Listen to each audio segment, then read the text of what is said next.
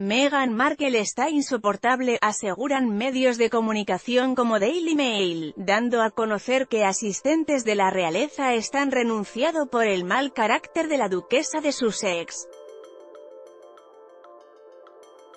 La asistente personal de Meghan, Melissa Towapti, renunció seis meses después de la boda de los duques. Ahora Samantha Cohen, quien ha servido a la familia 17 años, teme bien podría renunciar. Difícil trabajar con la duquesa. Sam será una gran pérdida, dijo una fuente cercana a Meghan Markle. Informado en el Sunday Times, la asistente dejaría su trabajo después del nacimiento del hijo de la duquesa. En la primavera de 2019, la partida partida hizo crecer los rumores de que es difícil trabajar con la duquesa, pues es una de las ayudantes más confiables de la reina, monjas se pagaban viajes y apuestas en Las Vegas con dinero que robaban de escuela. Se va haciendo una lista de empleados que renuncian. Ella se unió al equipo de Meghan y Harry cuando el puesto fue dejado por Edward Line Fox, tras cinco años de trabajo ahí, Samantha, madre de tres hijos, es conocida como la Pantera por su actitud inquebrantable, aunque dicen que el carácter de Meghan detrás de cámaras está causando problemas al menos en entre los empleados con información de agencias y Soy Carmín.